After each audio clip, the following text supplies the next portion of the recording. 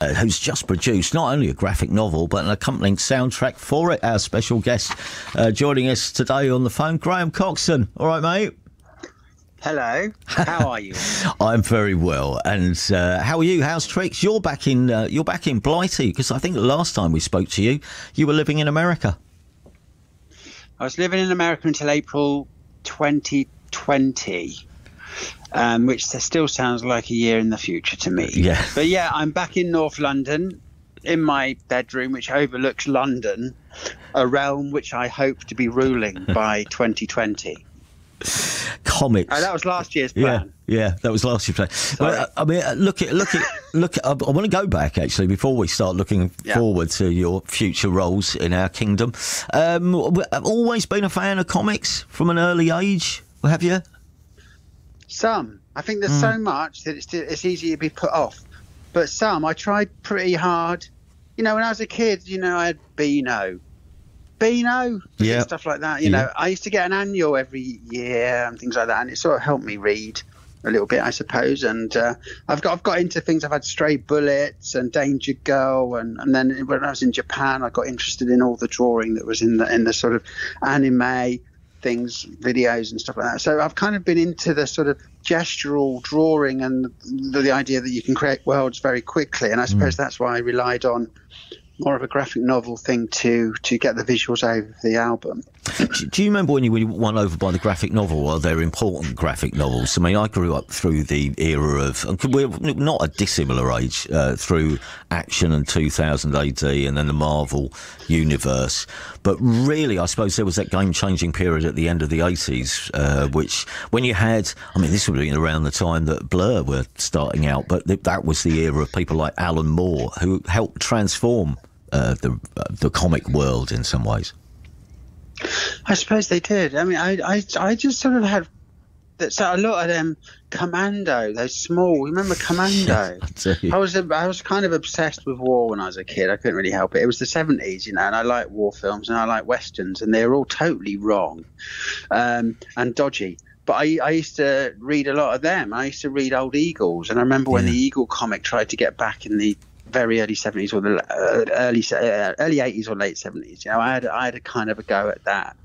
Um, and well, you're talking about that sort of time when I sort of met Jamie and I got into Deadline Yes. and and, Yeah. and those those kind of uh, Tank Girl, Wired World, and and those those kind of comics made a bit more sense to me because the people, you know, it, it really is.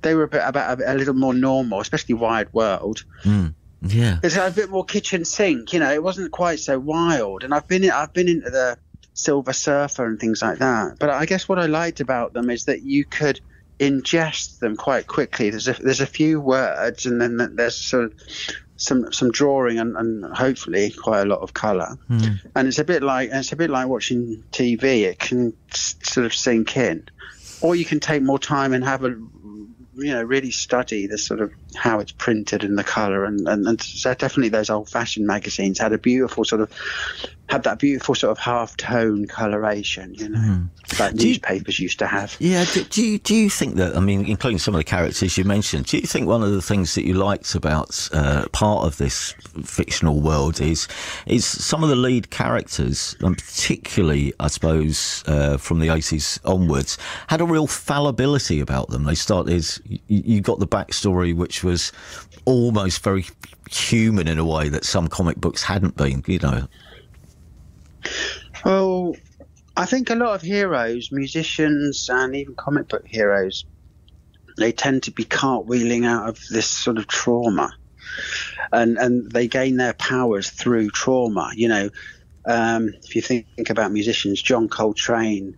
He got his superpowers because of trauma, you know, and the Silver Surfer, you know, spends eons going through the galaxy, just thinking deeply.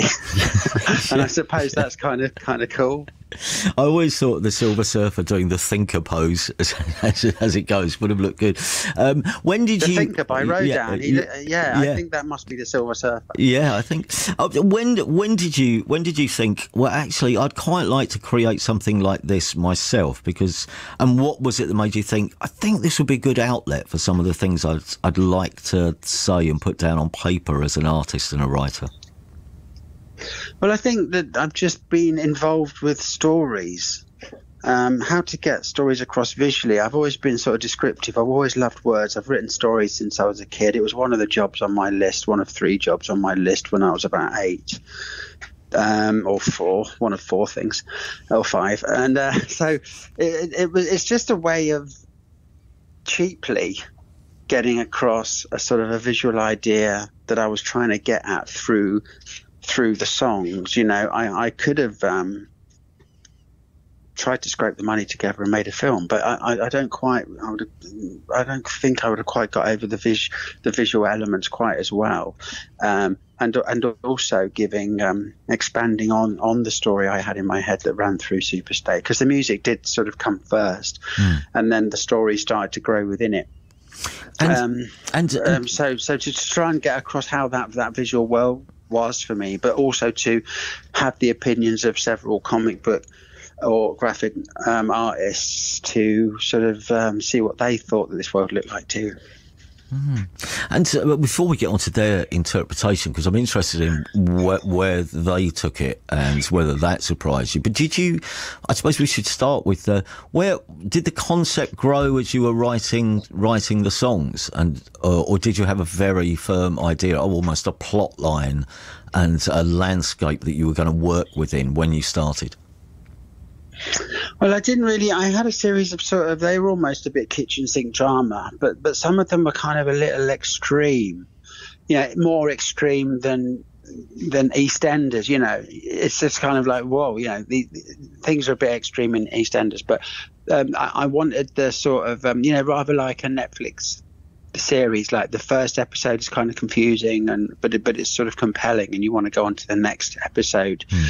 and then there's 12 more and I like I like the idea of, of several characters and their own situations and their their their own their own lives and, and somewhat trivial lives, you know, um, or, or extra special things happening in their trivial life that is confusing and, and strange to them, um, which um, makes them explore what is happening to mm. them and their lives sort of link up in some way, and then they fly to another planet.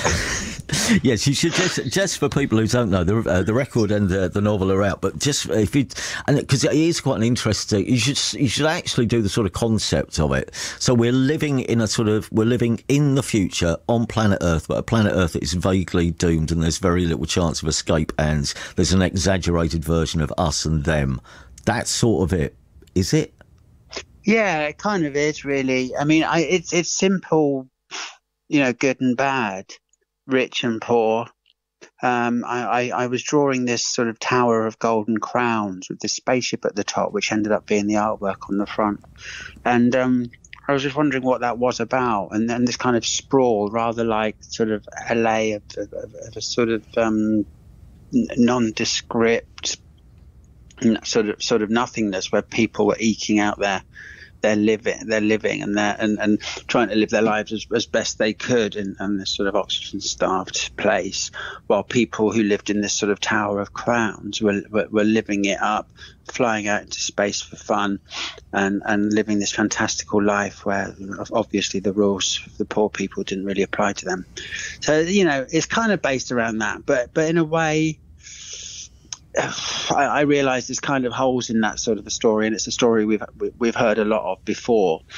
Um, so really, I wanted there to be an over an overwhelming urge with with a lot of the characters in it, and there are a lot of a, a lot of, of, of, characters, and that's why there's many voices on on the on, on the song, to to sort of um, feeling to to escape.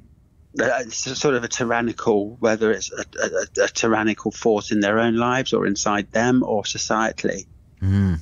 It is strive uh, for something better. Yeah, yeah. It's it's it's it's, it's I mean, it's um, uh, uh, accompanying uh, obviously the music, uh, the the graphic novel itself. Amongst the stories, uh, that there is there's quite there's some quite dark moments, tender moments. It's quite fragile. it's it's occasionally cornered, I think, and resilient. I suppose in places some of some of the characters. Did you, as the writers were working on developing the the idea?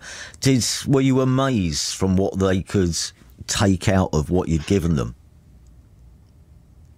Yeah, well, we had several meetings um, where we would sort of last autumn where we would be um, zooming for like three hours every few days. Just I would I would write down and tell them what the stories were behind each episode, and we sort of had to to expand on some. Some I didn't really have much of an idea, really. It just seemed to be two people having a row, you know, and I don't want to wait for you. There's a song called that. Yeah. And it just seemed to be two people having a row in the kitchen.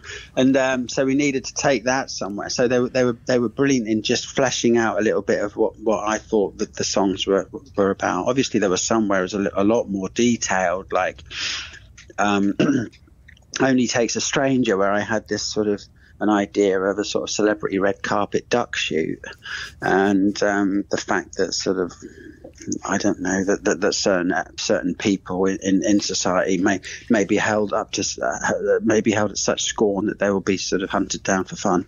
Yeah. And, and things like that, and, and, and, and sort of things that terrify me really. And then the artists made it even more terrifying. Some some of it, and ruder as well. Uh, oh. some of it's quite yeah. Right. Yeah. there is, but, um, yeah, there is there is a great um, for for all the serious sort of points it makes, and occasionally it's a little su- surreal. It's I, I, found bits of it like reading. Uh, there are chapters within uh, the graphic novel of The Watchmen where you think, I don't know where this is going or why this is here. Can we get back to the story, please? And there are moments yeah. like that which are just you know diversions which take you into a place where you don't know quite what's going on. But the great thing about this, and there is. You know, there are points to say which where it's, it's quite dark, but there's a real, there's a, I have to say, there's a real Graham Coxon playfulness going on somewhere in this book and the record. Well, I hope so. I hope so. I like the idea of the the, the, the factions, you know, I, and, and I like the idea of them sort of looking cool, like the Ball of Light kids. I like the the idea of there being in a gang. I like the idea of the Astral Light being a sort of a terrorist organization or something like that, or a secret police. And and you know, I, I sort of um, rather like when the world is getting pretty rough groups of people start shouting and having the weirdest, maddest ideas. Mm. And um, so, so yeah, I, I, like the idea of the feralness of the kids that are obviously undergoing some sort of treatment with with with some sort of virtual or digital bromide to stop them copulating, and and and, and are supplied with um, um, robot girlfriends and boyfriends and things like that, and and that the society is fed and and um, fed TV and food simultaneously through these insane sofas, and um, so it's a bit like where we live, what we live, or how we'd like to live. Some of it is kind of how we'd like to live, and and but but the thing is, when you when technology um, makes life really really convenient, it also makes it an awful lot. You know, it balances up the stress too. It seems to anyway. Talking of stress, how long from start to finish to get this project finished and done and out? Well, I finished it two years ago, the album, and I started it. I, I, wrote this song called "We Remain" on the day that David Bowie died. So that's when I started it. Is that four years ago? I'm not quite sure. Um, and then I sort of finished it with Blue May and Scott at Konk Studios um, a couple of years ago. Then I went to LA, and then I thought about it and sat on it. And then I got back in sort of April, May 2020 and by the autumn, I really thought I should get this stuff together. So, you know, because I just didn't know. You know, I, I thought, you know, it's it's just going to be best to let people draw this thing. Yeah. And then if someone wants to make a movie of it, just, then they can. But it's just, all laid on; it's ready to go. just, just saying, just in case there happens to be any movie agents or movie production houses listening, just saying could be a movie. Yeah. Um, can I be in it, please? Can, yeah. uh, and I just I would like to audition. And uh, would one last question? I suppose this is slightly. Did you did you find um, that some of the more sensitive moments of the songs are almost you can almost push them into the um, uh, I guess into other other people's hands that they don't become about you because there's a lot of personal moments on on on the record. And is that easier if it, if you're sort of disguised and they're being handled by characters in a comic book?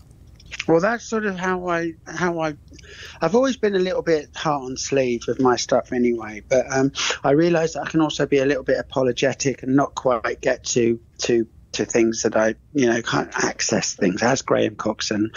and that sort of started, I, I, found a way that if I approach a song like Another Singer and forget about Graham Coxon for a bit, chuck him in the corner, um, like I did with End of the Effing World and things like that, that, that, you know, if I have to be in a post punk band and I'm called, you know, Jimmy Maniac or something, then I have to become that that that that guy, or, yeah. or I have to take take on a crooning kind of thing. And, and and I thought that melodies and lyrics and things like that came out of a different place from a place that wasn't so self-conscious for me. Yeah. So so in, in a way, putting putting other people's and characters through this this sort of pain is you know and but it is an expression the, the Superstate and the tower of crowns or whatever that's in everybody's heads.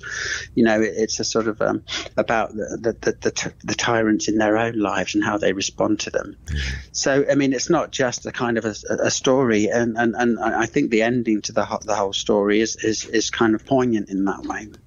So um Yes. Did that answer the question? It's, it, it does. And it's been lovely talking to you. I can't let you go without, because I know obviously fa- fans all over the place are listening, thinking, right, he's finished this. What's he working on now? Have you got any plans now, or can you put your feet up for a bit? Well, I'm luckily involved in a number of sort of projects, really, which which, which are all fun and surreal in their own way. So my life is. T- um, um, pretty positive right now. You know, it's not perfect. It's got its rubbish going on, but you know, um, i have been I was working with Duran Duran. There's the spaceship soul of uh, Jaded Hearts, and, and a new project that I've been involved with. It's, it's really I'm really excited about um, that we may hear something of later in the year. So yeah, there's a number yeah. of things that's so it's really it's great. You are such a tease, Graham Coxon, but we love you dearly, and it's been brilliant talking to you. And congratulations on this. I mean, it, obviously it, it, took a while, but it's it's a wonderful thing. Uh, Superstate. Uh, if you, if you want to look at it, it's out now. The records. We'll play the track actually where it's set and sort of where it all starts. Uh, Superstate and Yoga Town. Have yourself a great evening, Graham. Take care. Look after you yourselves, too. Man. See you, man. You too. Bye.